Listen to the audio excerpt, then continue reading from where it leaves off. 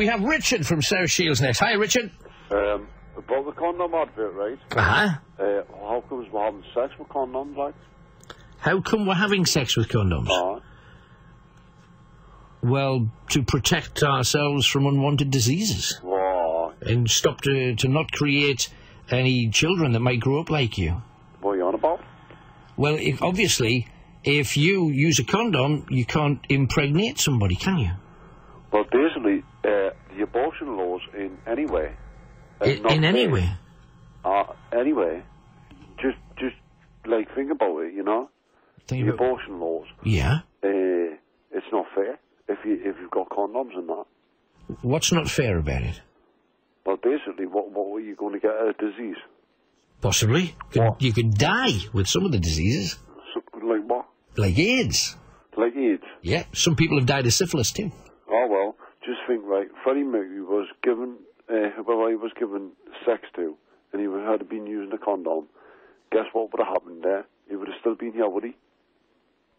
Well, I don't know how Freddie contracted AIDS. Do you? Well, well, that, well, exactly that. You know what I mean? Well, I think the answer you're searching for is no.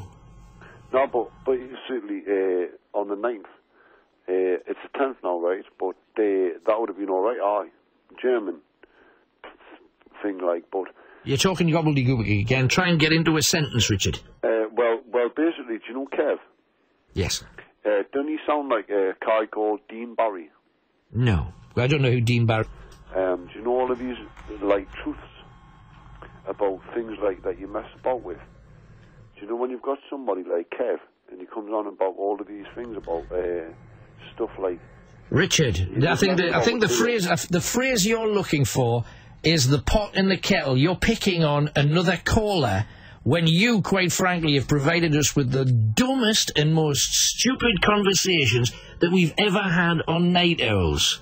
Do you really want to try and attack somebody else's view when yours has never made sense? mine always makes sense though. It doesn't make sense to you because Doesn't make sense to anybody, Richard. You tell me anything you've said tonight that makes sense. Uh, You're saying why you didn't even know what people use condoms for?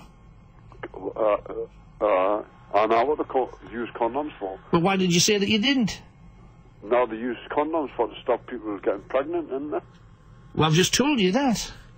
So why did you have to ask me if you already knew? No, but you says you says it was for to stop disease. Well, And it, it does that. it It, it does that too. And you had you asked me the very first thing you said is why would people want to use a condom? So why would you ask me that question if you already knew? And if you already knew, you're wasting your time and you're wasting mine. Anyway, let's move on.